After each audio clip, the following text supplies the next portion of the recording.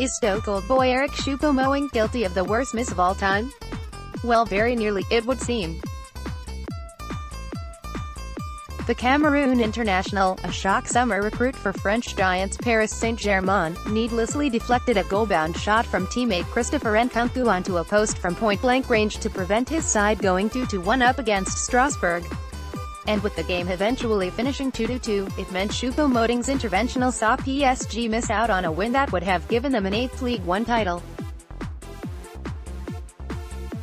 Stoke City fans were certainly quick to poke fun at their former striker, whose had put PSG ahead yesterday and seemingly on course for title glory a year after he was relegated with the Potters.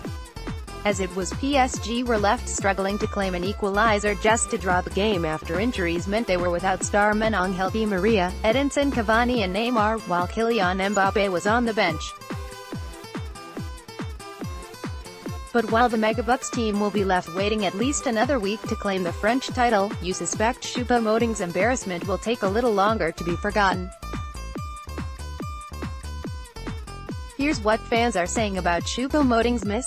For all your latest Stoke City news, opinion, analysis and transfer gossip, click here.